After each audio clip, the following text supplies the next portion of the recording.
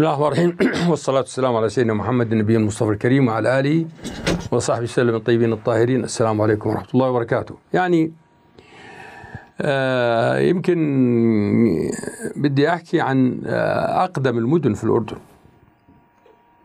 يعني أول قلعة بنيت 12000 قبل الميلاد اللي هي قلعة دامية أو قلعة أردن في دام قلعة أردن اسمها في دامية بعدها بنيت مدينة طبقة فحل. مدينة طبقة فحل. بعدها بنيت مدينة فينان أو أو فينون.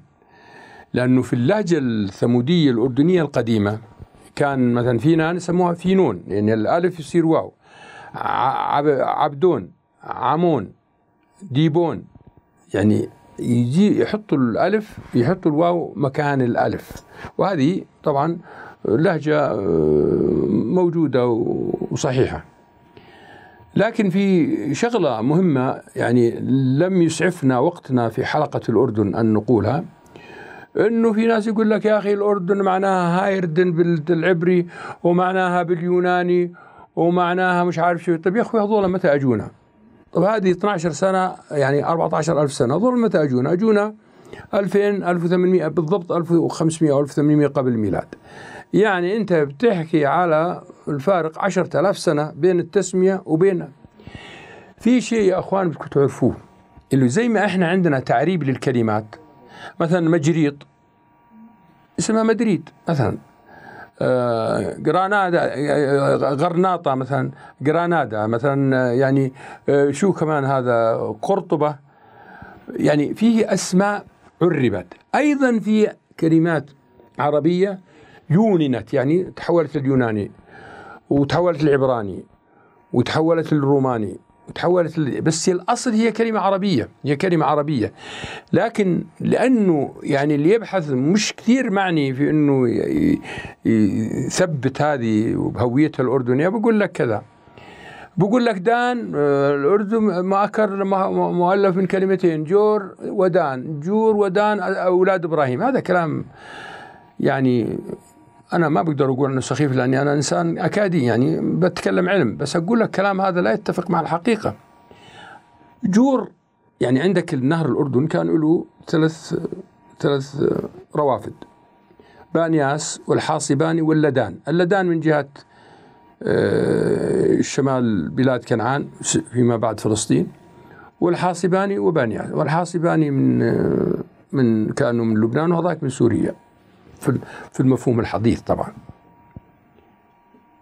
جور مأخوذة من من الزراعة. هلا أنت عندما تريد أن تزرع أشجار وفواكه شو بتساوي؟ تعمل جورة. جورة. جورة. هي لهجة من لهجات الثموديين القديمة. هي كانت من مدن مملكة باشان الأردنية.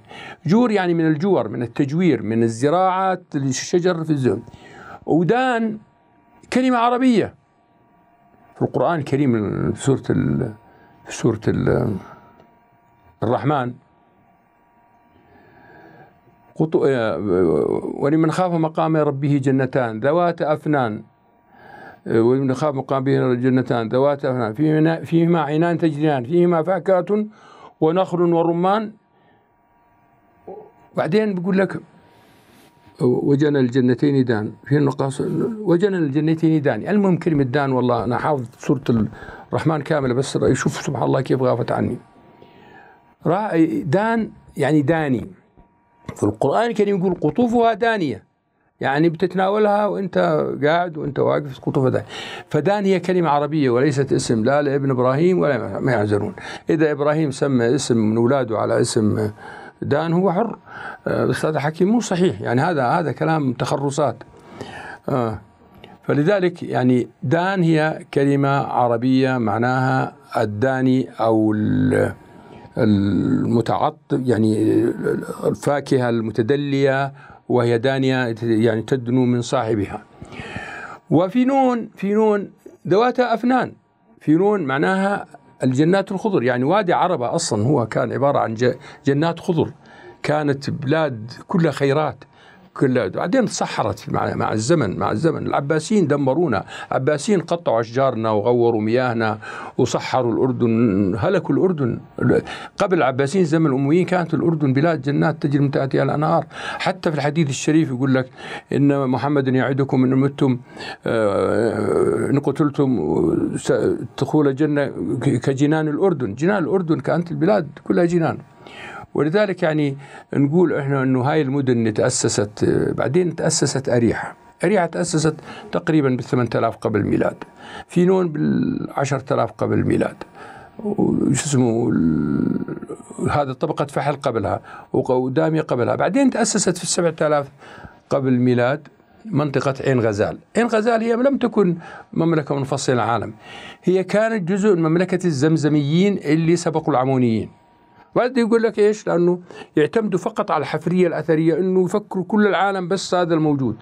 طيب إحنا من خلال الحفريات إحنا وجدنا مثلا حديث عن المنسف من الشمال والوسط والجنوب، طب كيف اجى هذا؟ دليل إنه كان كان له شعب واحد وكان التواصل معهم.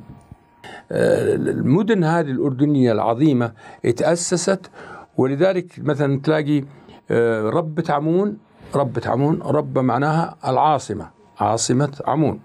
ربة مؤاب اللي هي كانت الآن اسمها الربة هي كانت آه، يعني أحد آه، هي كانت مركز ديني كانت مركز ديني كانت مركز آه، للإله كموش. وهكذا يعني إحنا الأردن الأردن بلد عبارة عن مستودع عظيم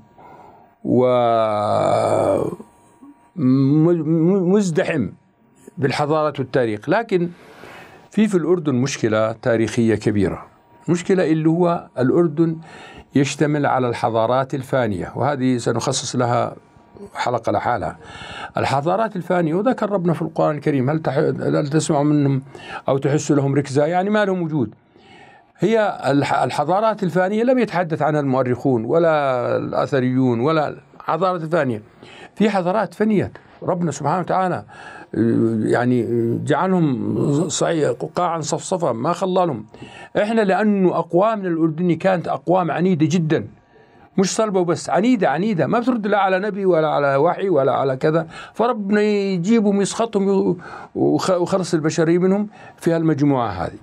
ولذلك هذا العذاب اللي صار عند قوم صالح واللي كان عند قوم شعيب مرتين واللي صار عند قوم لوط واللي صار هذا كله أوجد جينات الخوف جينات الخوف. لأنه لما نشوف السماء تنهد والأرض تتزلزل والصيحة والدنيا يعني المؤمن والكافر يموت من الخوف. شو هالبلوى هذه اللي جتنا؟ فلذلك إحنا نقول إنه الأردن الأردن هو بلد يجمع جميع المتناقضات ولكنها تنسجم مع بعضها. يعني تلاقي آه الإيمان تلاقي الكفر. تلاقيهم هم جماعة تجاوزوا على الله سبحانه وتعالى في موضوع قوم لوط وتلاقيهم أيضا آمنوا بالله وآمنوا بشعيب لذلك لما أجت الفتوحات الإسلامية فتحت الأردن كلها بدون قتال. ليش؟ لأنه كان هم بلد الأنبياء هم بيعرفوا إنه في توحيد وفي الله لا شريك له وفي إيمان وفي كذا. فبالتالي حتى الراهب بحيرة وهو من الغساسنة لما كان موجود آه، في آه، أم الرصاص. حكى لقريش عن سيدنا محمد صلى الله عليه وسلم هذا راح نعمل له حلقة لحاله. قال لهم هذا ديروا بالكم عليه هذا نبي وهذا كذا إلى كذا وهذا مكتوب عنه في كتبنا المتوارثة. فالأردنيين كانوا يعرفوا يعرفوا إنه جاي نبي وجاي رسالة. ولذلك كان مثلا أهل السلط وأهل عمان آه، دخلوا بدون بدون قتال بما راسا. ليش؟ لأنه اللي كان رئيس الجيش اللي فتح السلط كان آه، أخوه لأبو سفيان وكان هو تاجر ويعرف الناس ويعرف العربان ويعرف الشيوخ. قالوا يا جماعة الخير إحنا جايين نصير مسلمين؟ ليش نقاتلكم؟ أنتم اهلنا وقرايبنا. قالوا إحنا نشهد أن لا إله إلا الله وأن محمد رسول الله وأسلموا وخلصوا من أي نوع من أنواع القتال أو الانتقام. ولذلك يعني إحنا بلدنا بلدنا نعتز فيها ونفتخر فيها. لأنها ليست طارئة على الوجود وعلى التاريخ وعلى الهوية وعلى الكيان. هي بلد متجذرة في كل ما تعني الكلمة جغرافيا اجتماعيا سياسيا. إحنا شعبنا كان يفهم بالسياسة ويفهم بالحياة ويفهم بالائتلاف ويفهم بكل شيء. ولا شك إنه إحنا الأردنيين الآن إحنا أحفاد اولئك تلك القبائل. وطبعا وتعاقبوا على الدين من الوثنية المسيحية الإسلام. ونحن الحمد لله الآن مع ما نحن عليه وإن كانت طبعا العصرية خلصت الدنيا. والحديث بقي والسلام عليكم ورحمة الله وبركاته.